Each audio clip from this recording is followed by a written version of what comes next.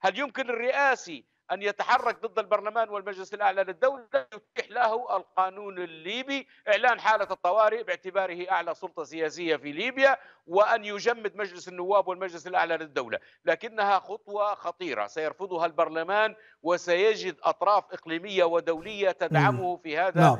الاتجاه. وبالتالي هي خطوة صعبة والمجلس الرئاسي لا يملك الأدوات بما أنك نعم. تتحدث عن أدوات المجلس الرئاسي وقدرته على إدارة الوضع أو المشهد في البلاد أنا أسأل عن بيان المجلس الرئاسي آه الذي صدر بعد رفض مجلس الدولة للمبادرة مبادرة المجلس الرئاسي كيف كيف رأيت هذا آه البيان؟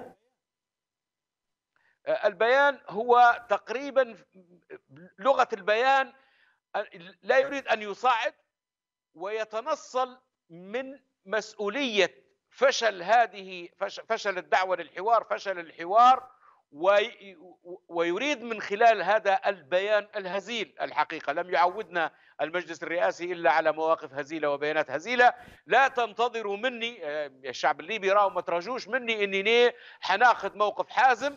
أو دعيتهم للاجتماع ولم يستجيبوا. والمجلس الأعلى للدولة رفض في جلسة رسمية. إذا أنا سأصعد وسيكون لدي مواقف حازمة ضد مجلس النواب والمجلس الأعلى للدولة وسأجمدهم بقرارات وبمراسيم رئاسية وسأكلف نعم. المجلس الأعلى للقضاء. لا ننتظر كل هذه النتائج يحملهم المسؤولية التاريخية أمام الشعب الليبي. إذا المجلس الرئاسي باقي في عجزه وفي ضعفه.